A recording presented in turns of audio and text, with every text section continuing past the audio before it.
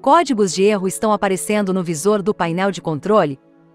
Você pode resolver muitos deles sozinho. Se sua unidade estiver exibindo o código de erro IE, isso significa que o abastecimento de água não é adequado. Em primeiro lugar, certifique-se de que a torneira de abastecimento de água está totalmente aberta. Em seguida, verifique se a mangueira de abastecimento de água está dobrada. Nesse caso, endireite ou reinstale a mangueira de entrada de água. Se o filtro da mangueira de entrada de água estiver entupido, o fluxo de água pode diminuir. Desligue o abastecimento de água. Remova a extremidade da mangueira conectada à lavadora. Verifique se o filtro da entrada de água está entupido.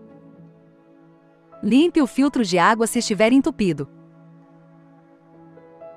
Verifique a pressão da água. Certifique-se que você tem a pressão de água adequada. Se a pressão da água estiver muito baixa, verifique outra torneira em sua casa e consulte um encanador certificado.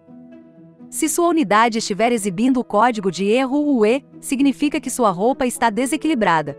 Primeiro verifique se a carga é muito pequena. Nesse caso, o cesto pode parar de girar ou ser interrompido.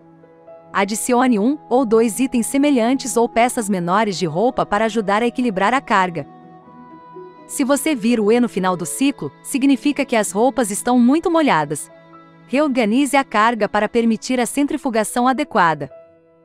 Depois, feche a porta e pressione o botão Iniciar ou Pausar.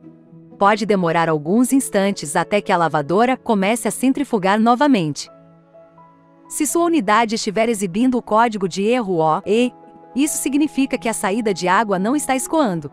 Verifique se a mangueira de drenagem está dobrada ou entupida. Nesse caso, limpe e endireite a mangueira de drenagem. Também pode ser que o filtro de drenagem esteja entupido. Nesse caso, limpe o filtro de drenagem. Se tiver dúvidas sobre como fazer a limpeza, verifique nosso vídeo sobre como limpar o filtro da bomba de drenagem.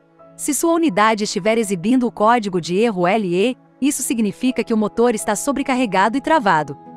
Deixe o aparelho descansar por 30 minutos para esfriar. Em seguida, reinicie o ciclo de lavagem.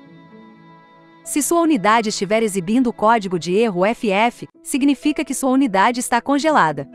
Verifique as mangueiras de alimentação e drenagem. Verifique também o filtro de drenagem para ver se a bomba de drenagem está congelada. Coloque água quente no cesto para descongelar a mangueira de drenagem e a bomba de drenagem. Cubra a mangueira de abastecimento com uma toalha úmida e morna para descongelar a mangueira de abastecimento de água. Se sua unidade estiver exibindo o código de erro PF, significa que houve uma falha de energia. Isso pode ocorrer se o fornecimento de energia para a lavadora for interrompido durante um ciclo devido a uma queda de energia. Para corrigir isso, basta reiniciar o ciclo de lavagem. Se sua unidade estiver exibindo alguma mensagem de erro como esses acima, feche a torneira da água e desconecte o plug de alimentação. Ligue para a assistência técnica da LG para obter suporte. Obrigado por usar as lavadoras LG.